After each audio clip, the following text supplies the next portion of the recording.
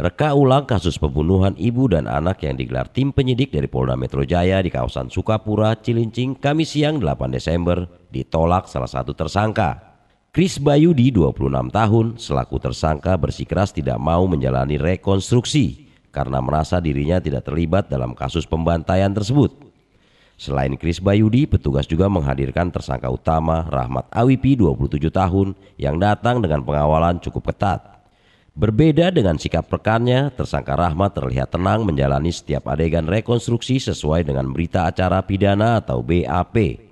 Proses rekonstruksi di rumah kontrakan yang dihuni korban Hartati 30 tahun dan anaknya Erianti 6 tahun di Gang Salon Kelurahan Sukapura Cilincing itu spontan mengundang perhatian warga sekitar yang penasaran ingin melihat kedua pelaku pembunuhan sadis tersebut.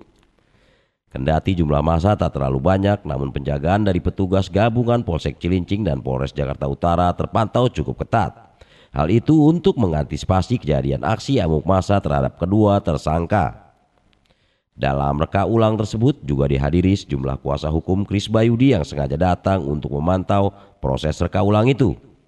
Dalam keterangannya, salah satu pengacara, Jeprika menyebutkan kalau rekonstruksi yang digelar petugas dengan melibatkan Kris Bayudi sangat tidak tepat mengingat kliennya itu tidak terbukti melakukan aksi pembunuhan bersama Rahmat. Karena pada saat kejadian, Kris Bayudi sedang berada di pabrik tempatnya bekerja. Jadi dia tidak ada di tempat kejadian ini pada saat malam kejadian. Kami punya buktinya, kami ada daftar absensi, presensi dia di tempat kerja pada tanggal kejadian. Lalu ada juga saksi-saksi teman-teman dari Kris Bayudi. Dari Jakarta Utara, Yahya Abdul Hakim, Poskota TV melaporkan.